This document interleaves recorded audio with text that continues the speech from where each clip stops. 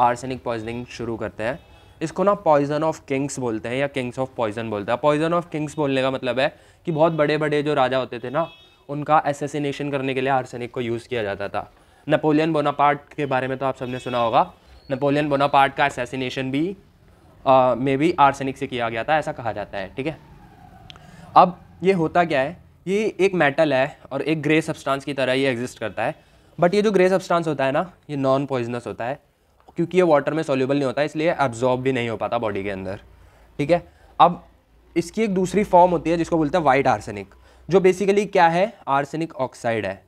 ठीक है? ये बहुत ही ज़्यादा पॉइजनस होता है और ये टेस्टलेस कंपाउंड है। इसीलिए इसको as a homicidal poison use किया जाता है, क्योंकि पता भी नहीं चलता कि कब पॉइजनिंग हो गई। अब मैकेनिज्म ऑफ़ टॉक्सिसिटी कैसे काम करता है ये बॉडी के अंदर जाने के बाद। तो ये क्या करता है?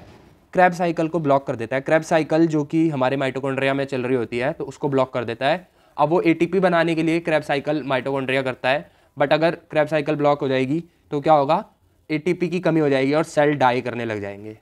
ठीक है? दूसरा मैकेनिज्म क्या होता है? ये सल्फाइड्राइल ग्रुप्स के साथ बाइंड कर जाता है। बॉडी के बहुत सारे एंजाइम्स में एस एच ग्रुप होते हैं, जिसे हम सल्फाइड्राइल ग्रुप्स कहते हैं। तो उनके साथ बाइंड कर जाएगा और फिर उस सेलुलर मेटाबॉलिज्म को डिस्टर्ब कर देगा। इसका जो मेजर मेजर मैकेनिज्म है ना टॉक्सिसिटी का, वो है आर्सेनोलाइसिस ये क्या करते हैं? आर्सेनिक एनाइंस जो होते हैं, ये फॉस्फेट की जगह जाके लग जाते हैं हमारी बोन्स के अंदर और दूसरे जहाँ भी भी फॉस्फेट्स होते हैं, वहाँ पे जाके खुद लग जाते हैं। तो उसको सब्सटीट्यूट कर देते हैं। तो उसकी वजह से सिम्टम्स आते हैं, ठीक है?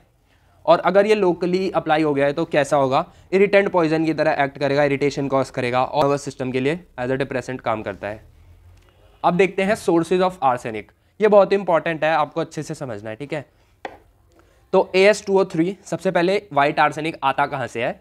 तो दो फॉर्म्स में होता है ये व्हाइट क्रिस्टलाइन पाउडर और ओपेक ब्रिटल मास इन दो फॉर्म में, इसको हम सांख्य और सोमालकर भी बोलते हैं। तो सोर्स जो है, वो डायरेक्ट हमें ऑक्साइड की फॉर्म में ये मिलता है, ठीक है? सल्फाइड्स मिलते हैं हमें आर्सेनिक के। दो सल्फाइड होते हैं येलो सल्फाइड और रेड सल्फाइड येलो ऑर्पिमेंट बोलते हैं और रेड रियलगर बोलते हैं, ठीक है? फॉर्मूला में थोड़ा सा डिफरेंस है A S two S three और A S two S two ठीक है? अब कॉपर आर्सेनिक के कॉपर के कुछ कंपाउंड्स होते हैं, जैसे Scheele's green Paris green emerald green जिसको हम हिरवा भी बोलते हैं, ठीक है? और दूसरे क्या है? लेड आर्सेनेट की फॉर्म में मिलता है सोडियम और पोटेशियम आर्सेनेट की फॉर्म में भी मिलता है, ठीक है? Now coming to acute arsenic poisoning अब देखो एक्यूट आर्सेनिक पॉइजनिंग में ना तीन फेस होते हैं, ठीक है? तो ये तीन फेस आपको अच्छे से याद रखना है। जब एक्यूट आर्सेनिक पॉइजनिंग होती है तो ये तीन फेसेस में सिम्टम्स आते हैं। तो एक्यूट आर्सेनिक पॉइजनिंग है तो सबसे पहले पंद्रह से तीस मिनट में जो ऑनसेट होता है ना वो कैसे आएगा? फिर सब एक्यूट सिम्टम्स कैसे आएँगे और नार्कोटिक सिम्टम कितनी देर में आते हैं? तो पंद्रह से तीस मिनट के अंदर एक्यूट सिम्टम्स आते हैं और डेथ भी हो सकती है एक से दो दिन के अंदर। होता क्या है? इरिटेंट पॉइजन की तरह सिम्टम्स आते हैं। बेसिकली वॉमिटिंग होता है। आ, सबसे पहले पहली बार जब वॉमिटिंग होगी ना तो स्टमक के कंटेंट आएँगे। दूसरी बार जब वॉमिटिंग होगी तो बाइल आएगा। और तीसरी बार जब वॉमिटिंग होगी ना तो म्यूकस और ब्लड आता है। ठीक है? अच्छे से याद रखना आपको ये बात। इसके साथ डायरिया और टेनिसमस होता है। टेनिसमस मतलब मरोड़ उठना। तो पेनफुल कॉन्ट्रेक्शन होता है टेनिसमस। और राइस वाटर स्टूल्स होते हैं। याद रखना है राइस वाटर स्टूल कॉलेरा के अंदर देखने को मिलते हैं राइस वाटर स्टूल इसके अंदर भी होते हैं, ठीक है? तो डिफरेंशियल डायग्नोसिस में हेल्प करता है। एनल इरिटेशन और इंटेंस थर्स्ट और डिहाइड्रेशन अगर ये होता है ना तो हम बोलते हैं कि रेमिशन हो रहा है। सिम्टम्स वापस आ रहे हैं, ठीक है? नाउ साइंस एंड सिम्टम्स सब एक्यूट पॉइजनिंग के क्या होते हैं? डेथ हो जाती है कितने दिन के अंदर? सात से दस दिन के अंदर। अगर इनिशियल अटैक बच गया तब, उसके बाद सात से दस दिन के अंदर डेथ हो जाएगी अगर सब एक्यूट पॉइजनिंग है। तो सिम्टम्स की जो डिग्री होती है ना सिम्टम्स ऐसे ही होते हैं बट इनकी जो इंटेंसिटी होती है, इनकी जो डिग्री होती है, वो कम होती है और ड्यूरेशन ज़्यादा होता है, ठीक है? और कार्डियक फेलियर की वजह से डेथ होती है। Now coming to narcotic phase narcotic में दो से तीन घंटे के अंदर सिम्टम आते हैं और ये तब होता है जब लास्ट डोज में आर्सेनिक दे दिया गया हो। और ये क्या करता है? बहुत ज़्यादा एब्जॉर्व हो जाता है इसमें ना जीआईटी की इन्फ्लेमेशन नहीं होती और वास्कुलर कोलैप्स होने की वजह से डेथ हो जाती है। ठीक है? ब्लड वेसल्स कोलैप्स कर जाती हैं। फेटल डोज क्या है? 120 से 200 सौ एम जी एक कहीं कहीं लिखा रहता है बट बेसिकली ये रेंज है। फेटल पीरियड 12 से 48 घंटे होता है, पर दो से तीन घंटे के अंदर भी डेथ हो सकती है। ठीक है? ये देख रहे हो आप नार्कोटिक के केस में। अब एक्यूट आर्सेनिक पॉइजनिंग हुई है तो हम सिम्टम्स के बेसिस पे क्या क्या ट्रीटमेंट देते हैं? तो स्टमक वॉश करते हैं, ठीक है? मिल्क और वार्म वाटर से। एल्कलीज यूज़ नहीं करते इसमें। बेस्ट एंटीडोट क्या है? Freshly precipitated ferric oxide. याद रखना है आपको। क्योंकि फेरिक ऑक्साइड जब हम देते हैं ना, जो फ्रेशली प्रिपेयर्ड होता है, वो फेरिक आर्सेनाइट बना देता है। ठीक है? तो ग्रेसी सब्सटेंस यूज़ करते हैं, जैसे बटर, जिससे कि उसका एब्जॉर्प्शन डिले हो जाए। और सेलाइन परगेटिव्स यूज़ करते हैं। परगेटिव्स का मतलब है एनीथिंग विच इंड्यूस वॉमिटिंग तो सोडियम सल्फेट यूज़ करते हैं। अब अगर सिस्टमिक इफेक्ट्स आ गए हैं तो कैसे काउंटर किया जाएगा? हम देंगे intravenous British anti lewisite injection ठीक है? ये क्या करता है? ब्रिटिश एंटी लिविसाइड ये अपने सल्फाइड्राइल रेडिकल्स देता है, जो कि कंबाइन कर जाता है आर्सेनिक के साथ और जो एंजाइम के सल्फाइड्राइल ग्रुप्स हैं, उनको फ्री कर देता है आर्सेनिक से।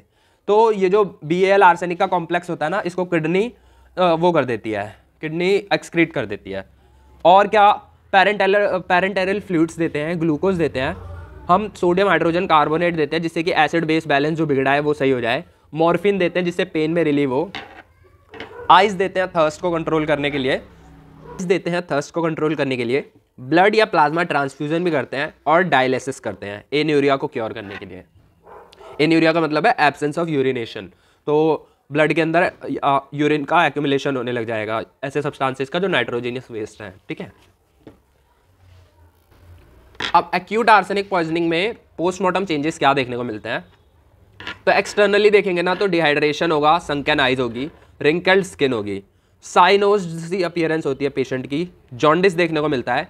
और जो राइगर मोटिस होता है ना, वो काफ़ी देर तक रहता है। स्ट्रिचनियन पॉइजनिंग के अंदर भी राइगर मोटिस काफ़ी देर तक रहता है। इंटरनली ये बहुत इंपॉर्टेंट फाइंडिंग है रेड वेलवेटी स्टमक स्टमक की जो म्यूकोसा होती है ना, उस पर ब्लड और म्यूकस आ जाता है, जिसकी वजह से वो ऐसी दिखती है। सब म्यूकोसल पेटिकियल हेमरेजेस दिखते हैं छोटे छोटे डॉट डॉट साइज़ के हेमरेज दिखते हैं ठीक है सब म्यूकोसा में। रेक्टम जो है वहाँ पे सबसे ज़्यादा इन्फ्लेमेशन होने का चांस होता है।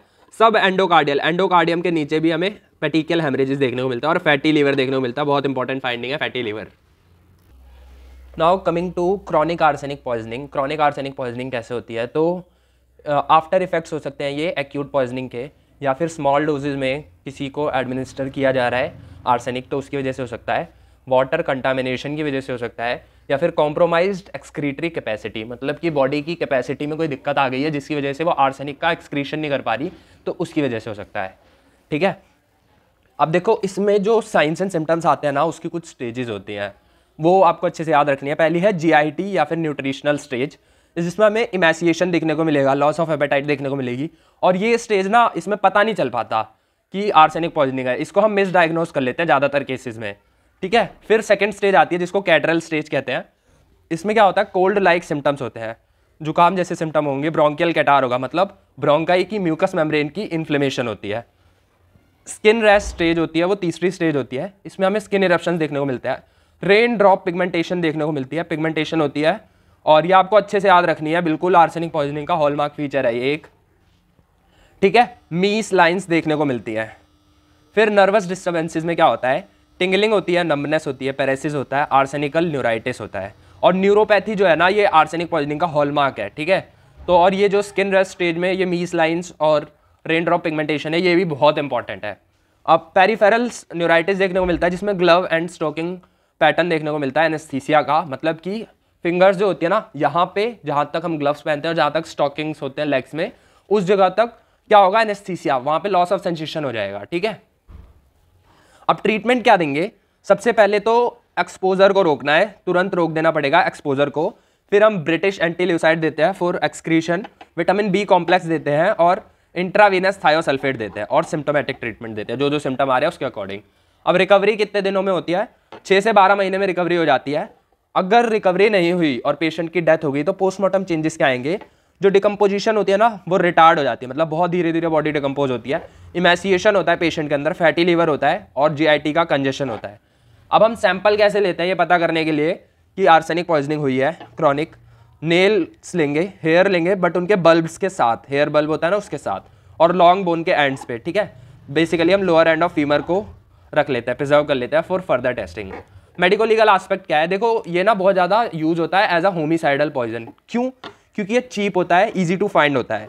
इसमें ना कोई टेस्ट होता है, ना कोई स्मेल होती है. और इसमें क्या होता है सिम्टम थोड़ी देर, तीन से चार घंटे बाद ऐसे शुरू होते हैं या फिर कुछ मिनटों बाद शुरू होते हैं तो ऐसे बंदा भाग सकता है. डिपेंड करता है अमाउंट पे, ठीक है? इससे दोनों तरीके की पॉइजनिंग की जा सकती है acute as well as chronic now coming to what are the disadvantages ठीक है डिसएडवांटेजेस क्या है? तो detected even after many years क्योंकि ये डिटेक्ट किया जा सकता है बहुत सालों बाद भी। बॉडी डिकम्पोज हो गई, उसके बाद भी इसको डिटेक्ट किया जा सकता है। क्योंकि ये डिटेरिएट नहीं होता, ये ख़राब नहीं होता, और इसका हीट पे भी मतलब हीट का इस पर कोई इम्पैक्ट नहीं आता, कोई भी इफ़ेक्ट नहीं होता। और ये बॉडी की प्यूट्रीफेक्शन को भी रिटार्ड करता है, जैसे मैंने आपको बताया तो ईजिली पता चल सकता है। ठीक है? अब टॉलरेंट पीपल कौन होते हैं जो 250 सौ तक इंजेस्ट कर सकते हैं? ठीक है? उन्हें आर्सेनोफेजिया होता है। आर्सेनोफेजिया मतलब आर्सेनिक क्रॉनिकली वो खाते रहते हैं, उनको आदत हो गई है तो वो टॉलरेंट हो जाते हैं, ठीक है? अब पोस्टमार्टम इम्बिबिशन एक फिनोमेना होता है, वो क्या होता है? पोस्टमार्टम इम्बिबिशन होता है कि जब हम किसी ऐसी डेड बॉडी का सैंपल कलेक्शन करते हैं ना, जिसमें हमें लगता है कि आर्सेनिक पॉइजनिंग हुई है तो हम नियर बाय सॉइल को भी कलेक्ट कर लेते हैं।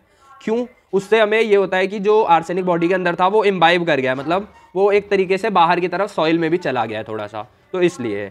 सो ये थी क्रॉनिक और एक्यूट आर्सेनिक पॉइजनिंग मिलते हैं नेक्स्ट वीडियो के अंदर. मेरी थोड़ी तबीयत ठीक नहीं थी तो अगर कुछ भी गलती हुई हो सो उसके लिए सॉरी मिलते हैं नेक्स्ट वीडियो में. अगर आपको कोई भी चीज़ समझ नहीं आई ना तो आप कमेंट सेक्शन में लिख देना. मैं उस पर एक नई वीडियो क्रिएट कर दूँगा. ठीक है?